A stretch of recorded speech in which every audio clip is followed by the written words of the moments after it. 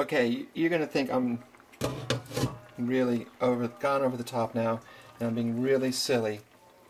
But if you could smell this, and if you had memories that I have of living in an ashram and and seeing this and smelling this and being remi reminded of um, waking up at four o'clock in the morning and going to the kitchen and um, helping chop vegetables and and prepare uh, this breakfast cereal for the devotees of the guru in this ashram, um, you'd be having a flashback like I'm having right now.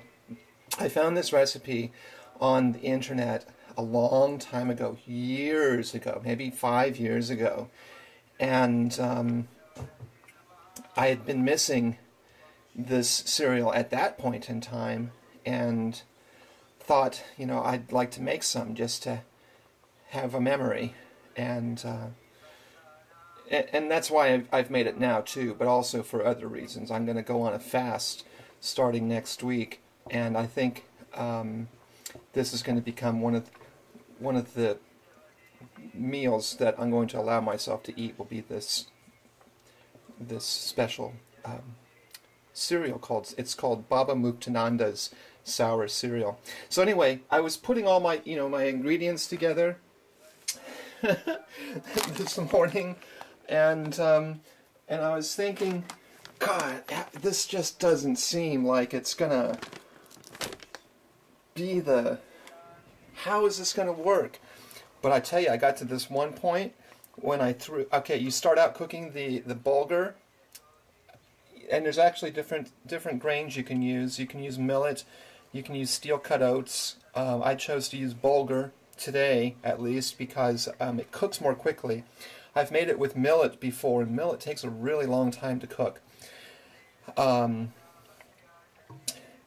and then you make this uh, side preparation called the masala, which is a combination of um, dates and a fresh tomato and some chili peppers and some fresh ginger and coconut flakes and um, let's see what else was there. I think that was mainly it.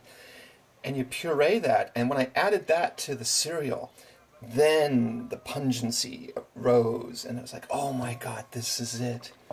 And so then to, to top it off, I, I got a tape of, well, it's not a tape, but I got um, some music of, of Baba Muktananda chanting, which is what we used to actually hear inside the ashram in the kitchen when we would be preparing this. And then we would sit quietly and eat this before we would go into the, the main hall and chant the Guru Gita. This is all before sunrise, um, every day of the year in in Muktananda's ashrams. And um, can you see the title there? It's called Devi Argala Stotram by Swami Muktananda. Anyway, I just was really excited, and I just wanted to share that with somebody. While I felt the excitement, because I was going to make it again tomorrow, and maybe I'll make it again tomorrow, and show you the all the steps. Um, make it a recipe, make a video recipe. All right. Om Namah Shivaya. Om Namah Shivaya. Oh, and if you could taste this, I wish you could taste it. Oh, and there's one other thing too.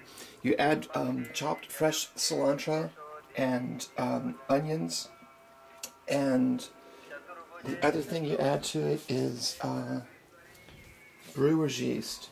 And I tell you, the brewer's yeast added on top of it really makes this amazing. It's a very healthy dish. There's nothing unhealthy about it. Okay, bye.